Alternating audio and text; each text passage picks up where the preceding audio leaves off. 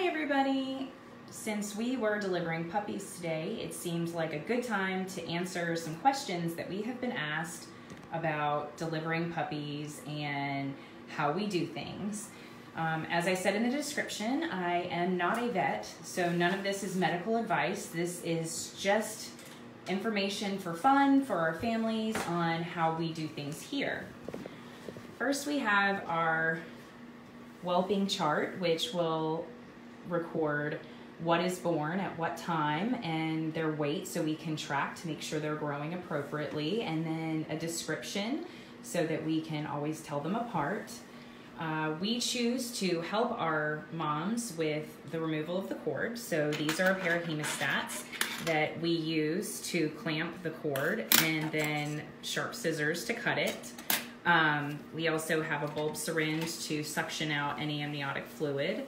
Uh, lots of pee pads to clean up mess.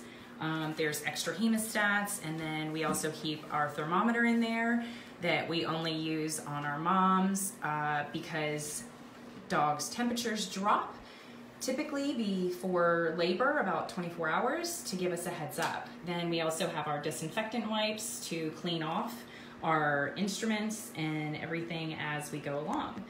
We also use a food scale, that's how we know what they weigh. And then after each puppy is born, we use Breeder's Edge Oral Cal Plus.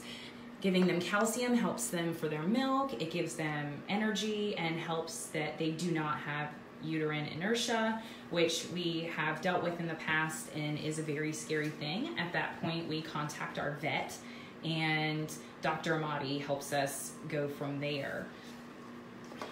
Also, uh, we deliver in our shower because we're able to bleach everything down prior to, so everything is nice and clean.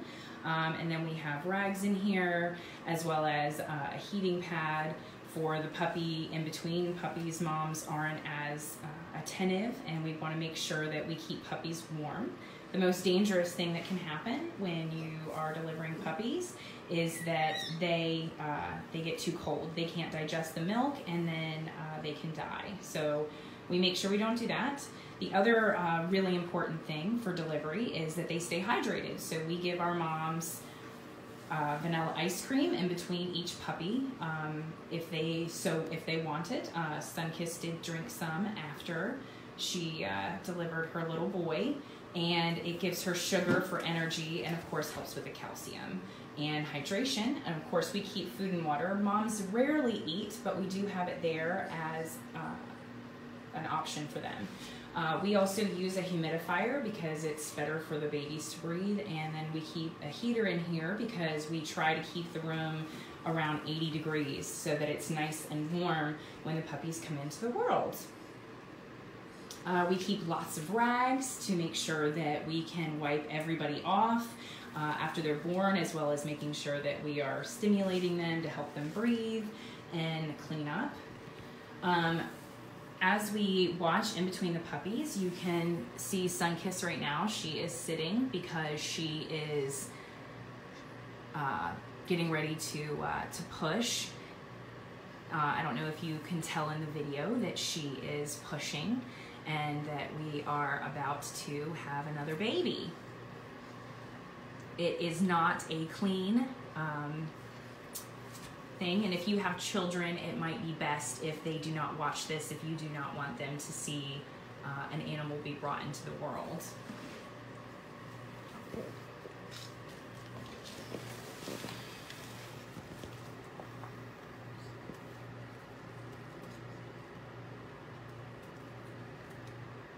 Hey, sweet girl. Good job, mama. Good job.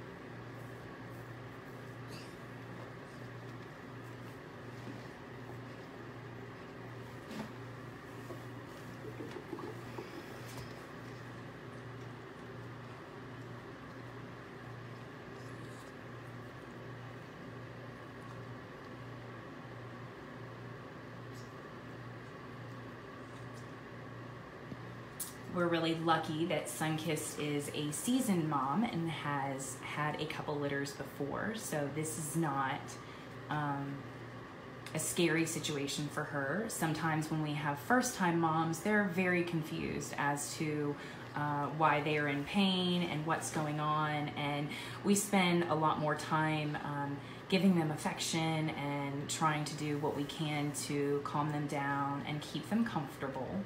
Um, as uh, we have moms that have had more than one baby, then we know that uh, they know what's going on and what to do, and we just let nature take its course.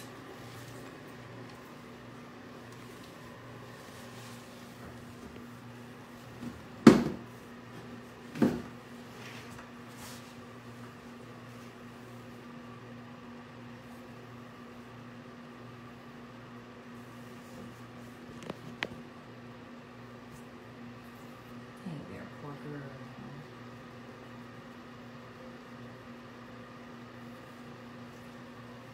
So typically, a lot of times we do an X-ray.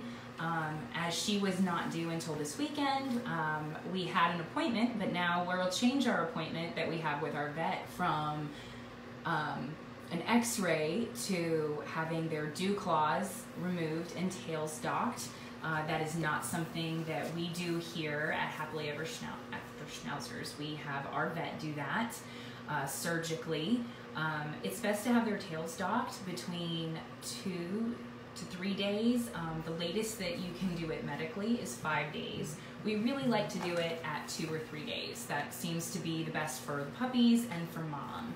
Uh, we have dew claws removed because um, as I have said at different places, uh, I worked at a vet when I was in college, and I saw two different dogs get their dew claws caught on things, and it was a horrible bloody mess. Um, and uh, they almost died from loss of blood. Um, and there have been dogs that have died from loss of blood, getting their dew claw caught on their crate. Um, and so we go ahead and have them removed so that um, we don't ever have to have our families be concerned um, that something could happen, and it is not painful to them as it is not a bone at that point. It is a, it is just cartilage.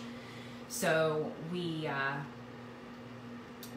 we with our vet feel that that is uh, the best case for us. As well as when the puppies go in, we have mom go in with them so that our vet can check her out and make sure that she's doing well. Um, after uh, dogs deliver babies, um, they're not completely out of the woods, just like for humans. Um, they can have issues with a calcium loss, or if they happen to not deliver all their placentas. Um, there are a lot of different things that go into it. So, as we have talked to uh, different people that have asked us about breeding, uh, our first piece of advice is to find a vet who you agree with, that you can feel comfortable with, and have a relationship with, because um, they are a good vet is indispensable to a breeder. That is the most important uh, relationship that we can have. And uh, we're really thankful for Dr. Amati and all of his staff. So, um, I do. This litter will not have any uh, any blue eyes, Kelsey. Um, these uh, parents both have brown eyes. Um, so, in order for there to be any puppies that have blue eyes, one parent has to have blue eyes. Um, I'm not going to get into a, a, big discussion here, but uh, blue eyes is something that is. Uh, you have to be very careful breeding and know what you're doing. Uh, you cannot breed two blue-eyed dogs together. Um, you can have deaf and dumb dogs um, because uh, blue eyes is a recessive gene. And learning uh, a little bit about genetics, there are some great courses on the AKC website that are free. Um, that will teach you about uh, genetics and all the different things that, that go into that. Uh, as well as I do recommend uh, someone finding a mentor. Um, I have several breeders that have helped me so much uh, learning about breeding, learning about genetics, learning about delivery, um, and I'm still learning. Uh, I've only been doing this for um, uh, several years, and I have people that I talk to that have been doing it for 20 to 30 years, and I'm just amazed at what um, at what I've learned from them. So uh, a lot of this is hurry up and wait, um, as far as uh, as far as delivery. Um, but she's doing exactly what we want to see. Um, she is uncomfortable, hence she is sitting, not laying down. Um, and if you've been watching her stomach, you can see the contractions um, as they come. And so each puppy has to be moved down into the birth canal. So when you deliver puppies, it is incredibly rare that you have boom, boom, boom deliveries. Um, it can happen. Uh, we've had some that are just a few minutes apart. Um, but uh, typically you have 30 minutes to, to sometimes three hours in between puppies, uh, just depending on how they are in the birth canal, how they are lined up. Um, but this is also why you always want to have a relationship with your vet. That uh, if you get concerned about too much time in between puppies or the way a mom is acting, um, can tell you a lot. Um, having a relationship with your dog is, I believe, indispensable um, when it comes to delivering and breeding. Um, you just know so much from knowing their demeanor, their the way they act, um, when you need to intervene, and when it's just best to let nature do do its thing. Uh, because there are a lot of schools of thought on time in between puppies and uh, when we need to intervene. Looks like we're getting a little bulgy. Um, at her bottom. Um, that is another way that you can uh, tell when a puppy is coming. So hopefully she will deliver uh, for this video. Uh, there is also uh, a myth about uh, green. So um, because if you have green in the amniotic fluid for humans, uh, people think for dogs that is not good, and that is actually not true. Um, yellow is uh, the color that you do not want to see um, when you are delivering puppies. Um, if you have yellow, it's very rare that the puppy will survive, um, and uh, it's it's usually too late.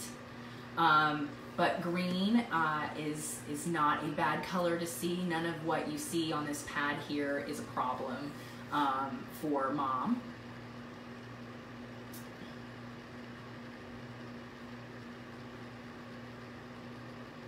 Hey, Sunkiss.